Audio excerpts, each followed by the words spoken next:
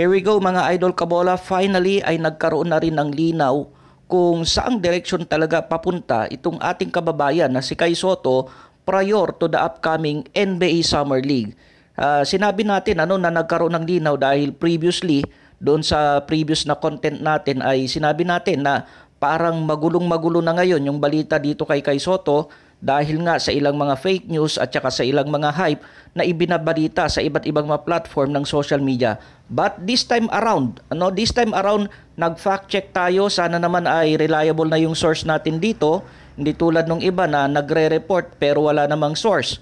Dito ang source dito ay itong si Dadin Kinito Henson uh, tiningnan din natin, sinerch natin at lumabas na rin ang balitang ito sa spin.ph, TV5 at maging sa GMA7. And finally, tinawagan na raw di umano ng Orlando Magic itong ating kababayan na si Kai Soto at isasama siya sa lineup na maglalaro sa paparating na NBA Summer League. So this is a very very good news para dito sa ating kababayan at sa ating lahat na mga Pilipinong nakaantabay dito sa tunguhin nitong ating kababayan na si Kai Soto.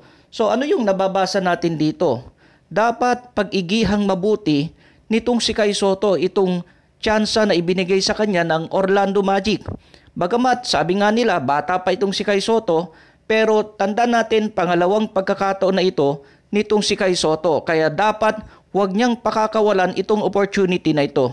Pero I'm very sure naman na talagang hindi pakakawalan ito ni Kai Soto. Ang kailangan lang talaga ay maipakita sa buong mundo nitong si Kai Soto lalo na dito sa team ng Orlando Magic na deserving siya na bigyan ng kontrata at saka kaunting chance man lang dito sa team ng Orlando Magic. Pero pakatanda natin ano mga idol kabola, itong breaking news na ito ay para lamang sa NBA Summer League. Sinabi ko yan kasi nagkalat na naman yung mga exaggerated na news, yung mga hype na di umano ay part na siya talaga ng NBA team.